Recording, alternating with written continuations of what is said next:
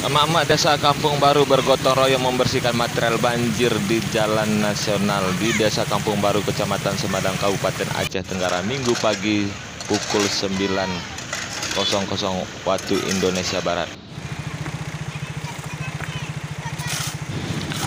Banjir yang terjadi di Desa Kampung Baru, Pasar Puntung dan Titi Pasir, Kecamatan Semadam terjadi sekitar pukul 20.30 Sabtu malam 14 Mei 2022.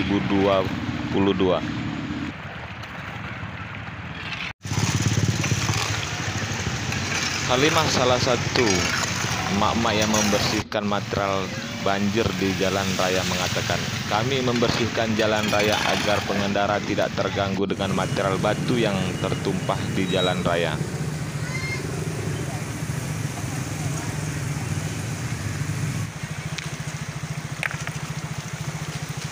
Mau membersihkan jalan raya ini, Bu?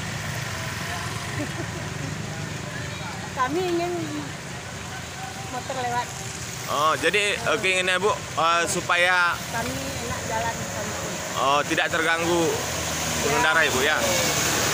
Uh, jadi untuk sa- sampai saat ini belum ada pihak yang terkait untuk membersihkan jalan ini, Pak. Tidak ada. Oh, sampai pagi ini belum ada ya? Nah, sampai pagi. Sampai siang nih juga. Sampai sampai siang ini juga. Mana ada tuh? Oh iya iya. iya. Ber- berarti Ibu bersama warga yang lain uh, berinisiatif membersihkan jalan ini Ya, karena biar enak kita jalan. karena tidak ada pihak yang terkait untuk turun ke jalan ini, Bu ya. Iya. Oke, terima kasih, Pak.